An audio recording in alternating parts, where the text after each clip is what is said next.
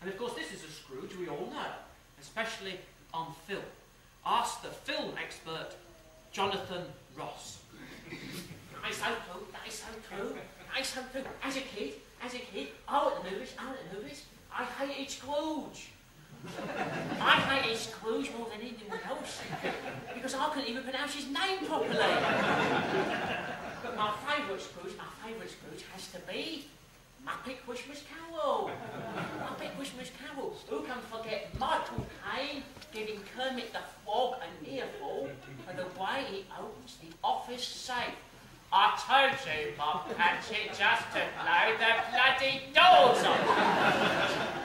Uh, sorry, Mr. Scrooge. Are you sure you will not happen again? Across the classic Scrooge performance. Across the classic Scrooge. Excuse me, ladies and gentlemen. Excuse me. I seem to have a frog in my throat. yes, it's that sort of show, folks.